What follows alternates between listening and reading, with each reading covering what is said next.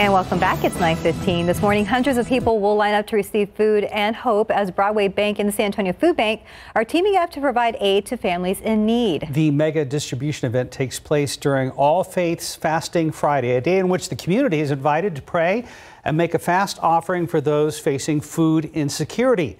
Alicia Barrera is live from Brooks City Base with more on today's event. Good morning, Alicia. Good morning. Well, this Good Friday, hundreds of families are starting off here at Brooks City Base. Just take a look at this line here. This is the parking lot. It's packed, bumper to bumper. Over here to my left side already, families receiving the food that they need. And again, this is thousands um, in line today. Eric Cooper, President and CEO of San Antonio Food Bank, joins us this morning.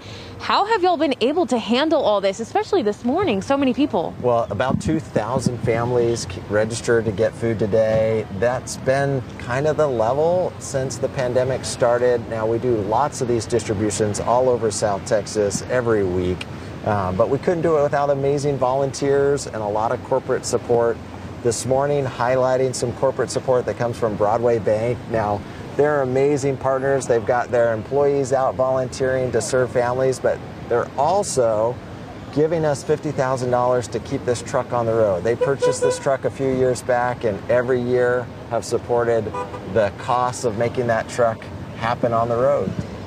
And today, also Good Friday, we know a, uh, a, lot of our community members will be fasting today. So, with All Faiths Friday, you're also inviting the community to take part in that. How so? Yeah, so you know, many people serve because of their faith tradition. And whether you're celebrating Passover or Easter or Ramadan, this is a month where a lot of celebrations happen, but there's a lot of solidarity. And so, we're asking people of faith to fast fast on Fridays during the month of April.